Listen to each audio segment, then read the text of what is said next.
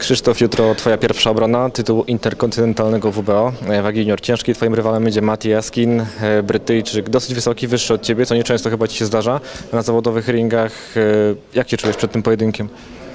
Hmm, czuję się bardzo dobrze. Tak, y, z wyższym jeszcze nie boksowałem w zawodowstwie, aczkolwiek w amatorstwie to same walki miałem z wyższymi, bo boksowałem super ciężki, także tam miałem samych wysokich. Teraz się przygotowywałem też z wysokimi, miałem samych spar sparring partnerów wyższych od siebie, no poza Łukaszem Rusiewiczem, ale tak to wyżsi byli, także radziłem sobie bardzo dobrze, więc myślę, że jutro tak samo będzie.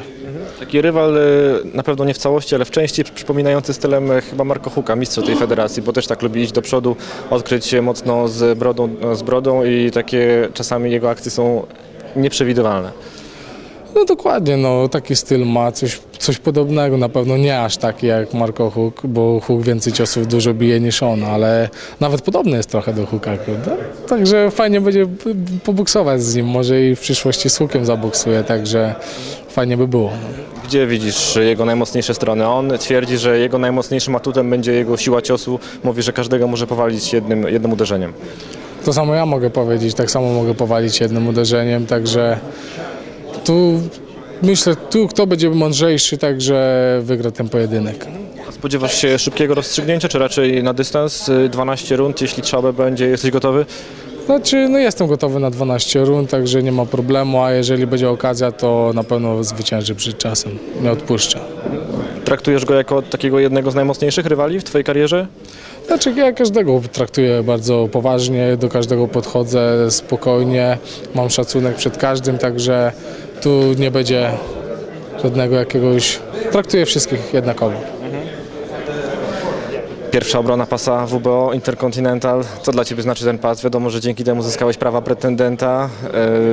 Y, Jak rozmawiasz z trenerem, to jak daleko jeszcze Ci do tych mistrzowskich pojedynków? Znaczy, no jeszcze nie gadałem na ten temat z trenerem, kiedy zaboksuję o te mistrzowskie pasy, bo to wiadomo, najpierw trzeba, kurde, z promotorami pogadać. No i najważniejsze obronić jutro ten pas, także postaram się wszystko z jak najlepszej strony zaboksować. No a wtedy zobaczymy, co będzie później, w przyszłym roku.